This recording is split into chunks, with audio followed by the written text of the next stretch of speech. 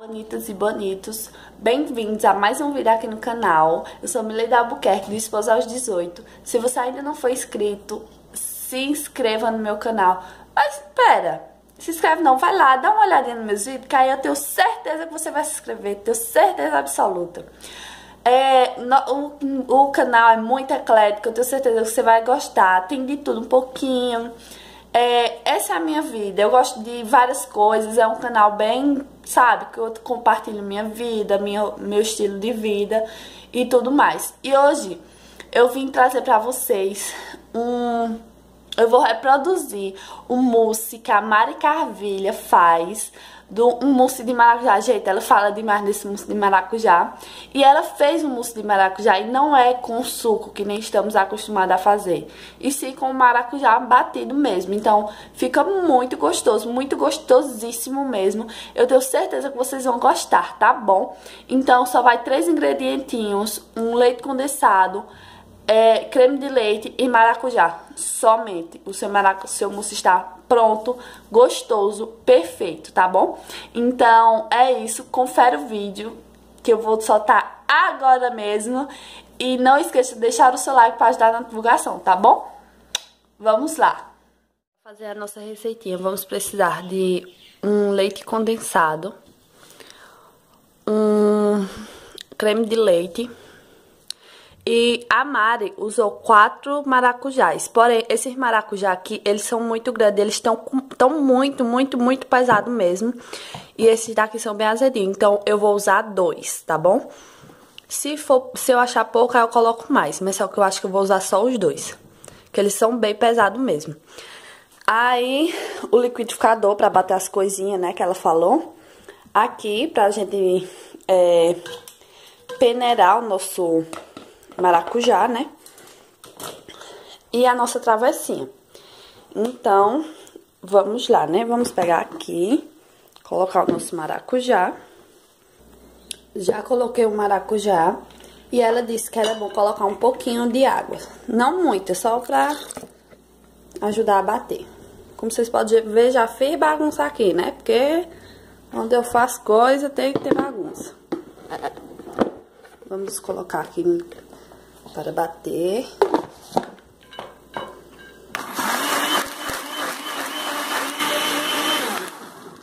Gente, eu desligo rapidinho, porque, ó, esse liquidificador meu, ó, é rapidíssimo. Ele tritura bem. Então, vamos colocar aqui.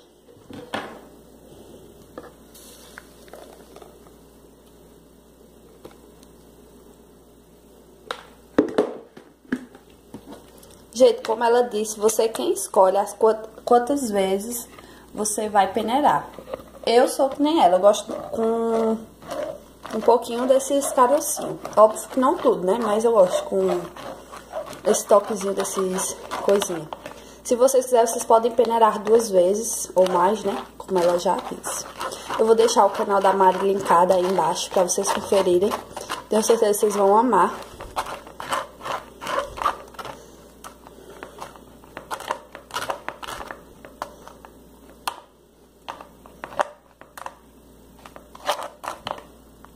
Peneiradíssimo.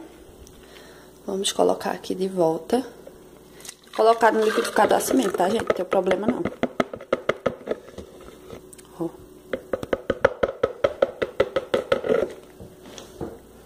Nosso leite condensado.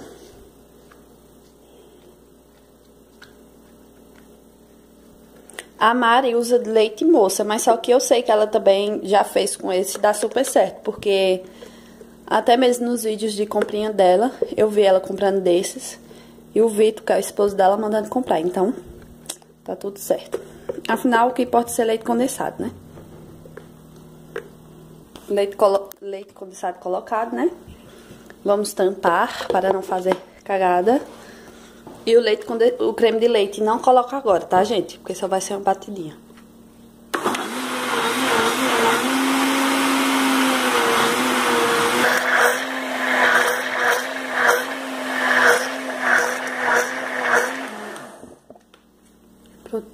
Vamos colocar o creme de leite agora, que isso é uma batidinha. Vamos tampar. E vamos lá.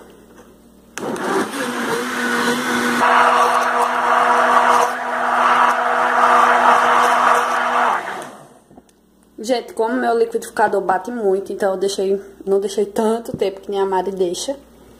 Mas, vamos lá, né? Colocar aqui pra gente ver como ficou. Uau!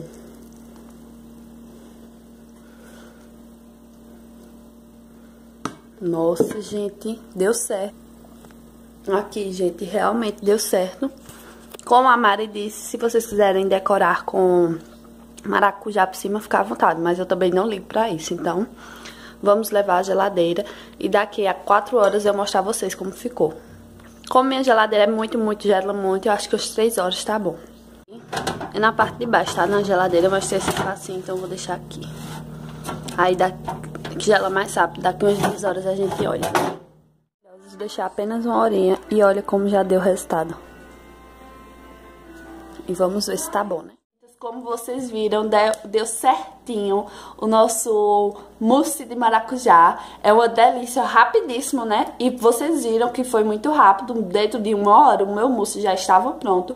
Eu acho que foi porque eu coloquei, na, tipo, na parte de baixo, não coloquei no freezer, mas coloquei na partezinha bem em cima mesmo. Então, eu acho que isso ajudou a gelar mais rápido. Estamos aqui com o nosso mousse e é a hora da verdade.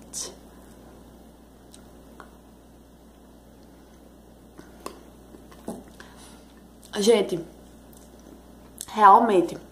Deixa eu comer mais um pouquinho. Hum. Hum. Bem que ela disse que é viciante, gente. Antes eu não tivesse feito, porque agora eu vou me viciar. Mas fica gostoso, ele fica diferente. Como ela disse, não é como esses mousses que a pessoa come enjooso.